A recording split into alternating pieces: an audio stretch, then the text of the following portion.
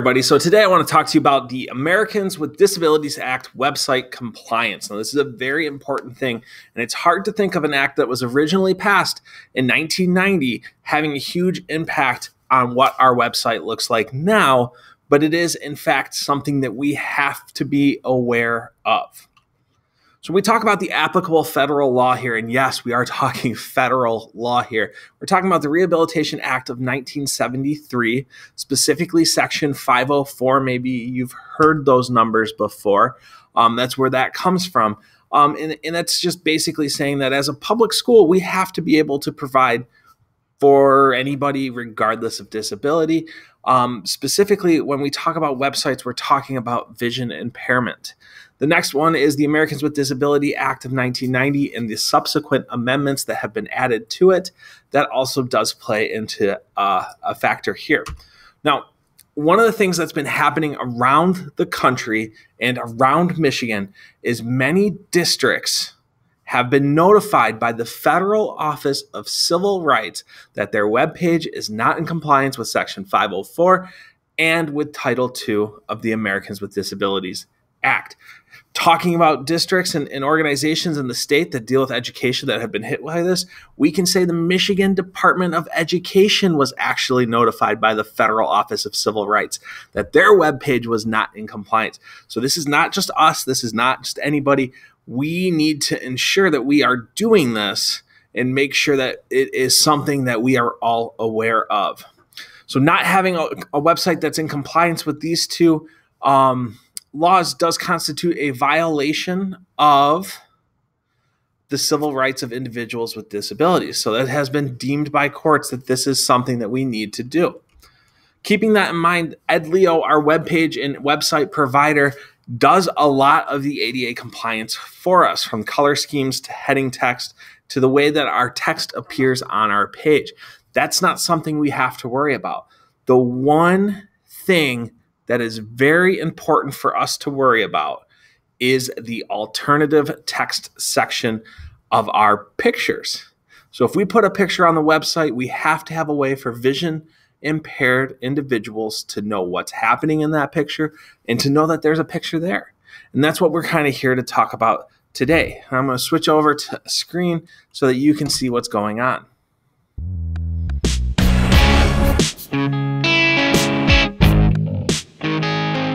Everybody. So, as we kind of turn on this alternative text feature, again, it's a requirement according to the Americans with Disabilities Act. We need to have certain things in place for our website to be considered ADA compliant. One of the easiest, lowest hanging fruit that we have is what's known as alternative text for our pictures. Now, one important thing to recognize is that when we flip this switch, when that switch is flipped, any pictures without alternative text are going to disappear. They'll no longer be visible publicly on our website. Now, privately on your page, you'll be able to see all the pictures you want without alternative text. Just anybody that visits your website is not going to see them. So when you go to your web page, you can double check what you have on your actual pictures um, just to kind of see what is there. So as I look, I've got five pictures here. And if I click on that picture, you see that alt box. That alt box, when I click, tells me exactly what it says. Now, this is the location where the photo was taken. So I have some photos of my wife and I in various spots, and we have all of these different things, and it just says Spartan Stadium as the location. Your alternative text does not have to be a Hemingway novel doesn't have to be overly wordy. It just has to be able to provide a contextual description of what that picture is so that anybody who is vision impaired can understand contextually what is happening in the photo that you've chosen to put on your website. Now, if I add a new photo to my page, right, and I just pick a random one off the computer, I upload this image, and what's going to happen is with the ADA compliance on, it's going to alert us before we hit save in order to ensure that we are actually doing this right. So you see how it now says missing alt text? If I hit save and go to my public page, no one is going to see that picture I just uploaded. Now to add my alt text, I just click on that picture, I hit alt, it gives up me a box and I can type in a nice description. Mets fall rally participants um, doing design thinking challenge, right? Not overly wordy, but really does provide that contextual understanding of what's happening in that happening in that picture. And when I hit save, that orange box goes away. And now if I hit save again up here in the corner, what's going to happen is that pay, that picture will be on my website now. All right. So that's what we need to do. As a reminder, we have pictures in different spots. So we need to make sure that we're paying attention to where our pictures are and making sure that we still have those there. One thing that Edlio does for us, Edlio does much of the um, ADA compliance pieces for us. The only thing that they don't really cover for us is that alternative text. So it's really important that we take that responsibility for alternative text, and they do give us that power. So when you see that orange box, if you have an orange box, those pictures are not publicly viewable. When you don't have an orange box, those pictures are publicly viewable. Yep. So now that we've gone through how to add alt text, what I want to do is kind of give you some tips for keeping that alt text on our site. So think of the audience and message of the picture, right? What are we, why did we choose this picture? The saying is, you know, a picture says a thousand words. Well, why did we choose this picture to say those words? Right? That's what we have to consider. And we'll go through what this kind of looks like. We need to keep it short and simple. You don't have to write an paragraph about what's going on in this picture.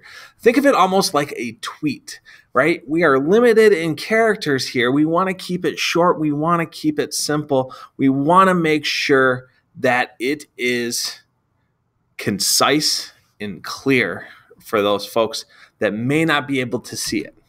And we want to avoid using items like image of or photo of because there's an image text already there an image tag already there built into the code, it implies that this is an image or a photo. We definitely don't need to put that in that piece. We don't have to say image of students, right? And that would be a poor one anyways. Um, so we do have to kind of think about that. So some samples, I put some samples together for us to look at. Here is a group, right? A poor example would be people at concert. It tells me nothing about the folks there and that, you know, I don't even know if they're having a good time if I see people at concert. They could be bored out of their mind, whatever it might be. But a good example would be diverse crowd enjoying music at a concert, right? That's a nice, clear example. It tells me that there's a group of different people in there. Um, you know, I could almost put mostly men enjoying because as I look at that picture now, say mostly a, a diverse group of mostly men um, enjoying music at a concert. That's a good example. Here's another one. This one may be more, uh, more, more applicable in our environment, right? Poor example would be teacher teaching, right? That doesn't tell us anything else about what's in this picture. But if we do a good example, teaching teacher leading direct instruction to an attentive um, to attentive diverse learners, that tells us a tremendous amount of what's happening in this picture. And it's very clear for me to imagine what that might look like. Finally, last one, a poor example would say hockey players. A good example would be a referee preparing for a center ice face-off between teams of women's ice hockey players. That kind of covers it. So those are just some tips to kind of go through and do that now that we've taken a look and seen kind of how all of this works. So I want to thank you for watching. Thank you for tuning in. I hope you have a wonderful day. And as always, if you have questions about this, feel free to reach out and ask for my help. Have a wonderful, wonderful day. Thanks for watching.